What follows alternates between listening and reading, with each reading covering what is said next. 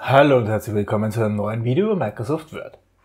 Heute wollen wir uns äh, Verweise, ja? wir wollen Texte, die wir schon irgendwo haben, noch einmal irgendwo hinschreiben, aber wir wollen es nicht hinschreiben, sondern wir wollen eine exakte Kopie.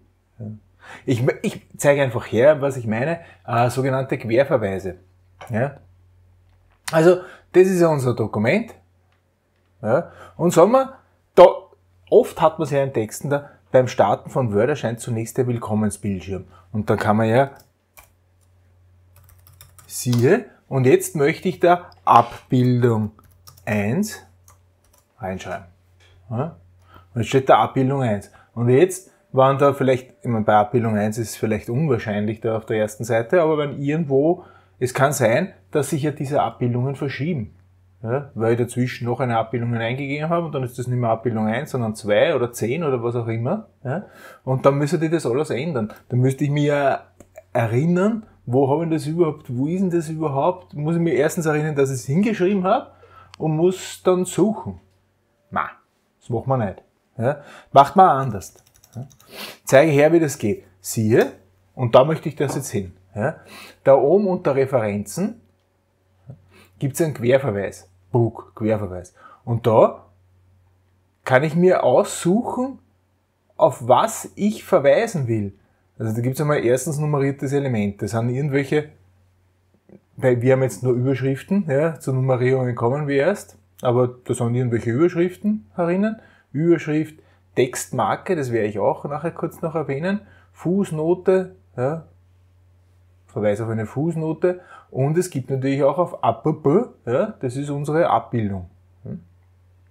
Und da können wir uns sogar aussuchen, wie das, wie das aussieht. Ja. Also schauen wir mal gesamte Beschriftung einfügen. Siehe Abbildung 1, Microsoft Word. Ja, das ist, das ist auch jetzt so komisch gegraut, weil das mit, wenn ich mich dahinter hinstelle, wenn ich es wieder löschen will, einmal Backspace drücke, wird das einmal markiert das wird so, hey, das erfüllt. Ja, du, du löscht nicht nur ein Zeichen. Zweites Mal drauf gedrückt, baff, alles weg. Ja, also das war praktisch die gesamte Beschriftung, kann ich verwenden. Äh, Querverweis, dann, was machen wir nur? Nur Bezeichnung und Nummer, Abbildung 1, so habe ich das zuerst ja geschrieben. Ja. Und das Schöne ist, wenn sich das noch verschiebt, wird das automatisch abgedatet. Ja, dann steht nachher auch Abbildung 2, weil der weiß ja, dass es um diese Abbildung geht. Ja, heißt, wenn die Abbildung eine neue Nummer kriegt, steht da auch die neue Nummer. Um das geht's. Ja. Äh, löschen wir es nochmal weg. Weil wir wollen uns das andere auch anschauen. Nur Beschriftungstext. Willkommen, also ohne den Abbildung 1. Ja. Geht das auch. Das ist manchmal bei bei Kapiteln oder so. Ja, siehe Kapitel 1.1 oder siehe Kapitel Querverweis. Nur Beschriftungstext, Seitenzahl, siehe 1, ja, weil es auf Seite 1 ist, da steht nur die, steht nur die Seitenzahl, ja. Und Querverweis, oben, unten. Also oben, ja, da geht das nicht.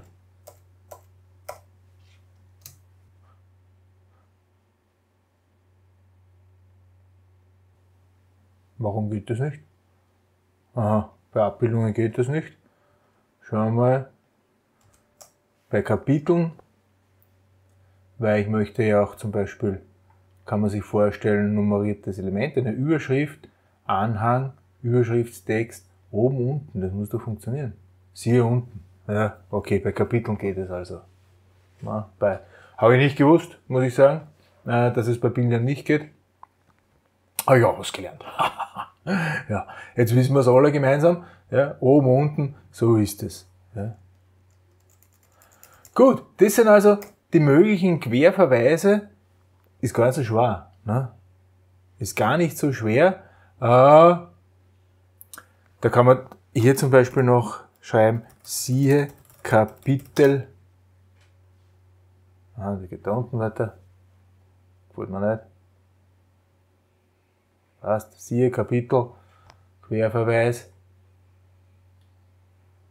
Äh, Text editieren 1.2. Überschrift machen wir äh, Überschriftennummer.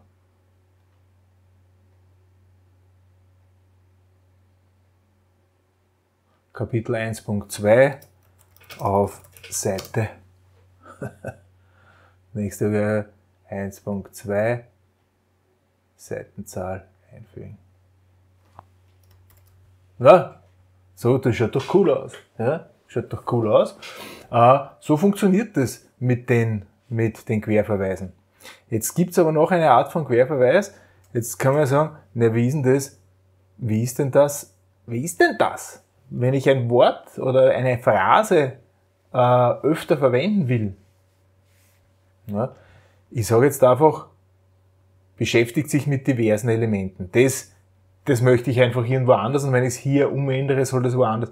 Ich meine, das macht jetzt da keinen Sinn. Ein Sinn macht es zum Beispiel, wenn ich irgendwo ein Passwort stehen habe oder einen, einen Benutzernamen oder so irgendwas und der Benutzername zum Beispiel ändert sich jährlich. Ja, weil jede Klasse hat ihren eigenen Benutzernamen äh, und, und auch ihr Passwort oder so, das hat man manchmal äh, im Schulbetrieb vor allem, ja, dass man sagt, okay, für heuer ist das Passwort dieses und jenes. Ja, und das schreibt man da ein ins Dokument und dieses Passwort kommt halt öfter im Dokument vor.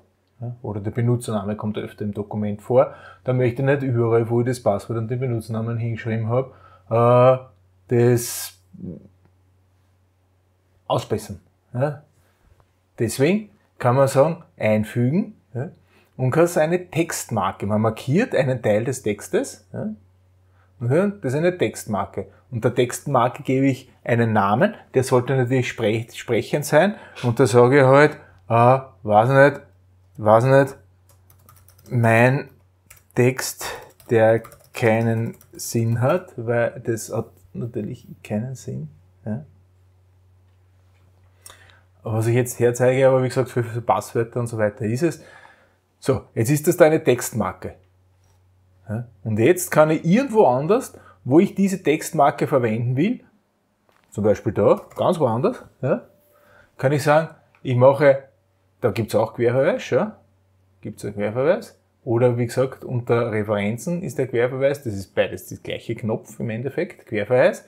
Und da kann ich jetzt Textmarke und da gibt's meinen, meinen Text, der keinen Sinn hat. Die Textmarke, die ich genau, gerade jetzt genannt habe, da gibt's alles mögliche. Üblicherweise nur da den Textmarkeninhalt. Ja? Und da beschäftigt sich mit diversen Elementen. Ja? Und wenn ich das da umändere, wo war der jetzt? da, beschäftigt sich auch mit diversen Elementen. Jetzt habe ich die Marke verändert. Schauen wir nach unten. Steht das noch immer so da. Rechte Maustaste drauf, Feld aktualisieren, Park. Ja. Wann wird diese Texte, diese Felder automatisch aktualisiert? Diese Felder werden automatisch aktualisiert beim Drucken zum Beispiel. Ja, wenn man auf Drucken geht, dann werden alle Felder automatisch aktualisiert, also wenn man PDF erstellt. Und das ist dann Kann ich jetzt auch gleich herzeigen, das ist eine gute Gelegenheit. Jetzt lösche ich aus irgendeinem Grund die Textmarke weg. Weiß ja nicht, dass das die Textmarke ist. Park, gone. Ja? Gone, die Textmarke ist gone. Und jetzt steht das da unten, jetzt scroll ich durch, schaut das alles ganz normal aus. Schauen wir uns nochmal an, wie das mit Drucken gegangen ist. Wiederholung ist ja nie schlecht. Also Datei, äh, drucken, ja? Microsoft Print to PDF, und, und da, schau, da sehe ich schon, Fehler, Verweisquelle konnte nicht gefunden werden. Jetzt hat im Hintergrund, hat der Computer uns das schon abgedatet, alle Fälle, ja. Es muss, ich, es kann ja sein, dass ich auf der Seite bin, ja. Drucken, ja. Erzeuge mir dieses, diese PDF-Datei, sage ja, Microsoft Word passt, speichern, ja. Ja, möchte ich ersetzen, ist doch die neue Version, wunderbar, Äh, gut. Und wenn wir jetzt das öffnen praktisch, Schule, wo war das? A-Inf, da Microsoft Word, öffnen. Im PDF-Reader unserer Wahl wird das geöffnet, durchgescrollt und wenn wir das so beim Durchscrollen, so, uff, Das ist extra fett geschrieben. Fehlerverweisquelle konnte nicht gefunden werden. Deswegen ist wichtig, wie gesagt, dass man zuerst einmal ein PDF erzeugt und noch ein bisschen durchscrollt und, und schaut, ob das irgendwo auftritt. Ja. Tritt erstaunlich häufig auf. Dass man da Referenzen macht und die gibt es auf einmal nicht mehr. So schaut das dann also aus. Ja. Gut, jetzt haben wir wirklich. Jetzt haben wir wirklich alles Mögliche gemacht, glaube ich. Ja. Querverweise. Habe zuerst schon gesprochen von einem äh, nummerierten Element. Ja. Das nummerierte Element, da haben wir nur, nur äh, Überschriften gesehen. Das nächste Mal möchte ich ein bisschen herzagen, äh, Aufzählungen und Nummerierungen und so weiter. Das ist nämlich auch noch wichtig, meiner Ansicht nach.